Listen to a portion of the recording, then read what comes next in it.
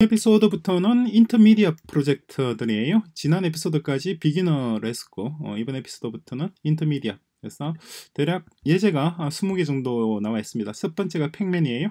Pac Man은 음, 우리한테 아주 익숙한 우리가 스크래치 코딩도 했던 그런 내용입니다. 먼저 worksheet 보시고 여시면서 그대로 한번 따라서 해보시기 바랍니다. worksheet 내용 여기에요. 천천히 보시고 그대로 따라 하시면 됩니다. 자 해보셨나요? 그러면은 같이 한번 음, 볼까요? 어, Pac Man에서 training data 현재 이렇게 left right up down 4개 아무것도 없는 상태입니다. 텅 빈 상태이죠. 텅 빈 상태에서 바로 make 파일 들어서 make를 할 텐데 어, 그 전에 그 전에 먼저 일단 Pac Man이 어떤 것인지 예, 한번 보죠. 프로젝트 template에서 Pac Man 검색하시면 됩니다. Pac Man 이해잖아요. 예, 검색해서 여시면은 이런 팩맨이라고 나와 있어요. 그래서 클릭해서 볼까요? 버튼 누르고 뭐 도망가고 뭐 주고 하는 거예요. 빨리 잽싸게 도망가야겠죠. 도망가고 또 도망가고 이게 뭐 간단하게 팩맨입니다. 도망가면서 그냥 도망만 가는 것이 아니라 어, 과일도 먹고 에너지도 보충하고 등등등등 점수를 올려가면서 하는 거죠. 이게 우리 어릴 때 아니죠. 뭐, 딱히 어릴 때도 아니고 어, 했던 Pac Man 게임이에요. 자 이걸 어, 사람이 하지 않고 이제 스스로 동작하게끔 구성을 하는 거예요. 일단 left right turn 요 내용을 보시면 딱히 어려운 문장은 없습니다. 우리가 다 공부했던 내용이니까 읽어보시면 다 이해하실만 할 겁니다.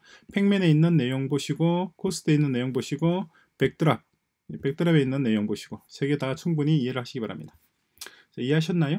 어려운 내용 없죠? 어, 그러면은 바로 어, 이어서 다른 거 볼까요? 해서 자, 실제 우리 진행했던 내용 어디 있나요? 여기 머신러닝 포키드에서 인터미디어 팩맨 했고 프로젝트를 열고 진행을 할 거예요.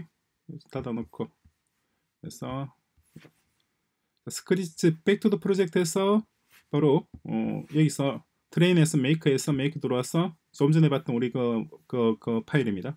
Pac Man 3 열고 그런 다음에 into Scratch 예죠. 예 클릭하시면 바로 열리게 될 겁니다. 그리고 이거는 닫아 놓죠. 닫아 놓고 하나만 열어 놓을게요. 자, 여기서 마찬가지입니다. 이번에는 좀 전과 달라진 것은 이렇게 Pac Man 모듈이 들어와 있어요. 어, 그죠? 요 모듈입니다. 요걸 써서 우리가 left, right, up, down 이렇게 요 네 개의 라벨에 따라서 움직이도록 구성하는 거예요. 마찬가지 template에서 이전과 마찬가지로 Pac Man 불러오셔서 그대로 Pac Man template 그대로 쓰게 될 겁니다. 쓰고 이제 우리가 코드를 좀 수정할 거예요. 어, 주로 backdrop에서 수정을 합니다. backdrop 클릭하시고 그죠? 그런 다음에 어, 얘는 뭐 딱히 하는 역할이 없어요. 여기다가 이렇게 left를 넣고 어, 이렇게 right를 넣고 이렇게 하라고 교재는 나와 있었는데 그건 제가 보기 별 의미가 없는 것 같아요. 그래서 빼놓겠습니다. 빼놓고 우리가 손볼 거는 요거죠. Pac Man. 그래서 트레이닝을 지금부터 할 거예요. 그죠? 그래서 우리가 left right up down 할 때마다 그 데이터가 이렇게 adding training data로 들어갈 수 있도록 이렇게 구성을 할 겁니다. 그죠? 그래서 현재 variable에 포인트 x 포인트 x와 그리고 아, Pac Man X죠. Pac Man Y와 ghost X와 ghost Y 그죠? ghost Y 얘를 어디다 넣느냐니까 Pac Man의 next move next Pac Man move 여기다 넣는 겁니다. 그죠? next Pac Man move는 우리가 어, 키보드로 left, right 이렇게 조정하죠. 위에 있는 이 네 가지입니다. 요거 키보드로 조정할 때마다 키보드의 up이나 down이나 right나 left를 누를 때마다 그때마다 그 Pac Man의 XY 좌표와 ghost의 XY 좌표가 이렇게 next Pac Man move라고 해서 up이면 up, left면 left, right면 right, 라벨 우리 라벨 붙여놓은 4개의 라벨이 있잖아요. 각각의 라벨에 값이 입력되는 거죠. 간단한 논리죠. 그리고 팩맨 움직이는 거 보시면 이렇게 set 팩맨 x 그러니까 곱하기 60 더하기 마이너 240도 있잖아요. 요거는 어떤 의미인지 간단히 이해가 되시죠? 왜 60이냐니까 요즘 한 칸이 60이잖아요. 전체 그러니까 x 좌표가 480인데 그 중에서 둘, 넷, 여섯, 여덟 개니까 480을 8로 나누면 60이 되죠. 60 픽셀이죠. 한 칸이 가로 세로 60 픽셀입니다. 마이너스 240과 마이너스 180을 준 것은 offset이에요. 그렇죠? 우리 이전에 다 공부했던 내용입니다. 자, 그런 내용 다시 한번 간단하게 언급을 했습니다. 어, 그런 다음에 지금부터 트리 지금부터 우리가 게임을 하면은 이제 게임 할 때마다 그 정보가 어, 이제 어, 뭐라고 해야 되나요? 여기에 다 기록이 될 겁니다. back to project에서 training data 여기 있잖아요. 지금 현재는 left, right, up down이 비어 있지만은 우리가 게임을 진행하면은 그때 XY Pac-Man의 XY 좌표와 ghost의 XY 좌표가 left면 ri-, left, right면 right에 땅땅 들어가는 거예요. 어떤 의미가 되시죠? 그래서 어디 들어가느냐 하니까 next Pac-Man move 이 값에 따라서 결정됩니다. next 팩맨 무브는 우리가 어, 떤 키를 누르느냐에 따라서 또 결정됩니다. 그렇죠? 서로 서로 꼬리를 물게끔 만들어 뒀어요. 그래서 플레이 버튼 누르시고 그런 다음에 실제 플레이를 해보는 겁니다. 그러면은 뭐 Pac-Man이 뭐 움직이질 않네요. 자, 우리가 먼저 한번 움직여 볼까요? 제가 left 키를 눌렀는데 얘는 지금 위로 올라가고 있습니다. 뭔가가 잘못되고 있어요. 자, 동작 그만. 동작 그만 하고 어, 볼까요? 말 Pac-Man decision이고 여기고 일단 얘를 원래 위치로 두죠. 두고 얘는 건드리지 않겠습니다. wait one second 타이머 있고 자 다시 한번 보겠습니다. 클릭해서 왼쪽 어, 지금은 또 동, 제대로 동작을 하는군요. 왼쪽 자, 왼쪽 한번 가볼까요?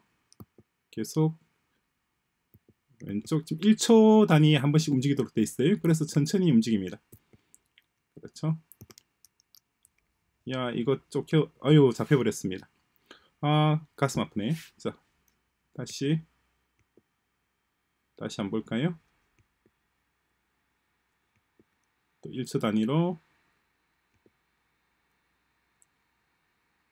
있고 또 내려올까요? 잠시 내려와서 지금부터 입력되는 데이터가 제대로 된 데이터고 이전의 데이터는 딱히 의미가 없겠어요. 그죠?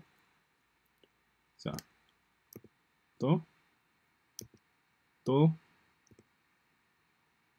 여러 번 누르면은 여러 번 누른 데이터가 계속해서 입력이 돼버려요. 그러니까 그냥 1초에 한 번씩 누르는 게 제일 적절합니다. 그렇지 않으면 더미 데이터가 누르고 있으면 그러니까 키보드를 누르고 있으면 더미 데이터가 무수히 입력돼 버릴 수가 있어요. 한 번 이동했는데 누르고 있는 상태면은 데이터 값이 한 10개, 20개가 들어갈 수 있단 말이에요.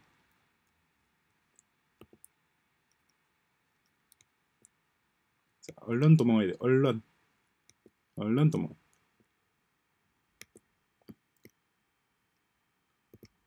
다시 도망가고 또 도망가고 일단 이렇게 하는 겁니다. 자 어떤 의미인지 아시겠죠? 이렇게 하고 그런 다음에 이제 트레이닝 데이터 들어가서 다시 한번 보자는 거죠. train reload에서 보시면은 방금 방금 잠시 움직였잖아요. 움직였던 데이터가 여기 쭉 들어와 있죠. 들어와 있는데 어, 다행히 더미 데이터가 그렇게 많이 들어온 것 같지는 않아요. 그죠? 들어왔는데 처음에 움직였던 몇 가지 이것들은 별 의미가 없는 동작이었던 것 같아요. 그죠? 어, 뭔가 피하는 게 아니었잖아요. 어쨌거나 다음에 learn test 하고 지금 간단하게 동작하는 기본적인 메커니즘만 제가 보여드릴 거예요. 지금 현재 보시면 너무 작죠? 어, 개수가 너무 작아요. 적어도 50개 정도씩은 채워야 됩니다. left, right, up, down. 나중에 여러분들이 하실 때는 50개 정도 example 넣어보시기 바랍니다. 그런 다음에 일단 트레이닝 하죠. 어, 진행되는 과정만 제가 보여드리는 거예요. 그런 다음에 프로젝트 들어가고 다시 여기 이 프로젝트죠. 들어와서 자 이번에 뭘 좀 바꿔줄 겁니다. 일단 트레이닝을 했잖아요. 트레이닝 했으니까 이제 요걸 빼내고 전체를 다 빼내죠. 다 빼내고 팩면 들어와서 recognizing number 얘를 넣는 겁니다. 얘를 넣는데 먼저 set variable, set variable 해서 next move 자, next 팩맨 move를 요 값을 넣겠다는 겁니다. 요 값. 그러니까 우리가 어, 똑같습니다. Pac-Man x, Pac-Man y 지금 현재의 값이에요. 현재 우리가 있는 위치 ghost x 그리고 ghost y일 때 여기에 적합한 라벨을 찾아보라는 거예요. 현재 x, y, ghost x, y 이 좌표에 적합한 라벨이 up이냐, left냐, 뭐 down이냐를 알아보라는 거죠. 어떤 의미가 되시죠? 자, 그리고 위에 이 4개는 이제 필요 없으니까 지워버리는 겁니다. 키보드를 안 쓸 거 아니에요. 지워버리고 그리고 교재에 있던 이 부분 left right 이 부분은 딱히 의미가 없어요 제가 보기에. 그래서 일단 빼버렸습니다. 그래도 일단 교재는 이렇게 나와 있어요. 이렇게 매뉴얼 있는데 얘는 별 하는 역할이 없지 싶어요 논리적으로 별 의미가 없고 해서 빼놓을게요.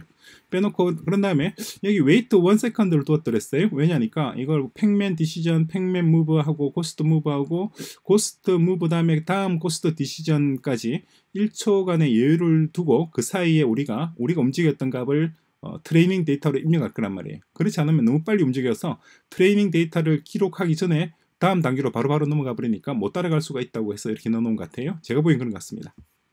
자, 그래서 지금은 이제 혼자 움직일 거니까 wait 1 second는 빼버리죠. 빼버리고 그런 다음에 전체 화면 넣고 이제 보죠. 이제 혼자서 움직일 겁니다. 자, 혼자서 움직이고 있죠.